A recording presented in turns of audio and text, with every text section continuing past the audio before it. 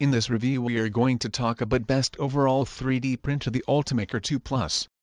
This is the clear recommendation for those that want the absolute best of the best 3D printer. This sleek and stylish printer has phenomenal print quality, even with some of the most difficult prints in our research. On top of this top-notch performance, this product is super easy to set up and operate, even for a complete novice to 3D printing. This printer even includes a mobile app to guide you through the initial setup process, with even more documentation online if you run into any sort of difficulties. This capable printer had an impressive build volume and a helpful support team behind it. However, all of this performance comes at a premium price, and this model is one of the most expensive printer. This product is for those that want the absolute best, and are willing to pay for it.